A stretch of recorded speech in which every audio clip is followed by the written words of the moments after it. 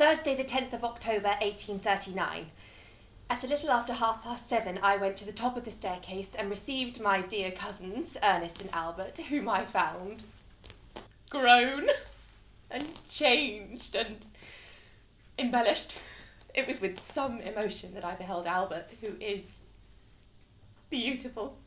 I embraced them both and took them to Mama. Um, oh, there's a new, a new one. It's fascinating when you read it because she wrote two and a half thousand words a day all her life. She was given the journal from her mother when she was 13 and she did that every single day. So you have an entire history of her, of her family and her life, which is extraordinary. So what did you learn about her that you didn't know before? Oh my God, the fact that she's a tease, the fact that when she was young, you know, she was all that sort of, just like any other young girl and fancying all these men and just wanting all that, you know, the fun, the joy, and but also that she had to hide all that depression and the, the grief that as well because it was that was all written down because it was like a, th a therapy session for her just writing the diaries. Albert really is quite charming. So excessively handsome such beautiful blue eyes and exquisite nose such a pretty mouth with delicate moustaches and slight but very slight whiskers broad shoulders and a fine waist I said to Lord M that I'd made up my mind about marrying dearest Albert.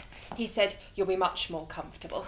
You find her normality and you see how she grows from being a normal child, really, into how she has that layer of being queen, but also the vulnerability of being a, a normal human being. Hormones blazing, uh, Victoria, for sure. Yeah, it's that period where she's, you know, discovering boys and, and men and, and what she thinks and how she is perceived, I think. Um, it's very fun to play because she's, um, she's falling in love, you know, for the first time and she's got these crushes, you know, she has a crush on any man that kind of comes into her life, unfortunately, because she's, um, she's been very sheltered.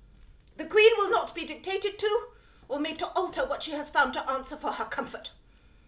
The Queen must say that she does feel very bitterly the want of feeling of those who ask the Queen to open Parliament. That the public wish to see her she fully understands.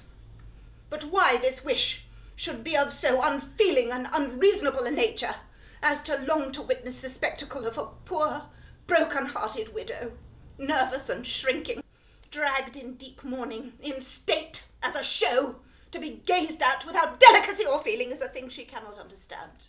She mirrors the, the royal family of today, how she certainly mirrored Elizabeth II. Because, I mean, I think Elizabeth II sort of idolised and looked on Victoria as, you know, as how to do the job, really. And it, it's so modern what she did and so modern what she wrote. And it, it's not dissimilar to what's happening today and what happened all through the Crown, really. When Prince Philip died and we were in COVID and the Queen had to sit in that chapel on her own. Um, there's a scene in this where Victoria is sort of dragged back from Scotland to open Parliament and she has to sit in Parliament on her own.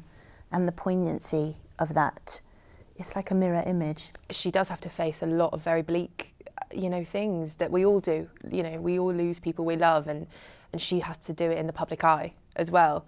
Dark house by which once more I stand here in the long, unlovely street.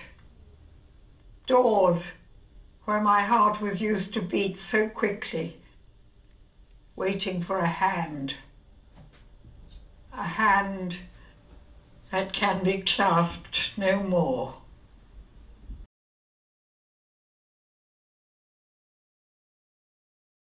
I think it's very important. It's integral to the whole piece, the heart of it um, the fact that she did the show for so long and can still remember it, and she has this voice that just draws you immediately. She can, she can portray vocally um, what's going on in her, which is just something that is a kind of animal instinct. It just makes you listen and tune in, and I, I think it's lovely that she's been part of this.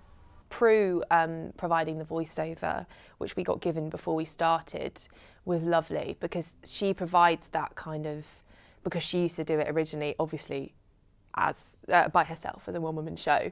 So she her voice kind of changes on the recording. So she goes from being this you know very kind of bubbly to this really aging kind of voice. So that provided me with a really lovely blueprint um, in terms of how Sara and I might play the same person. She will do it. This time, as she promises. But she owns she resents the unfeelingness of those who have clamoured for it.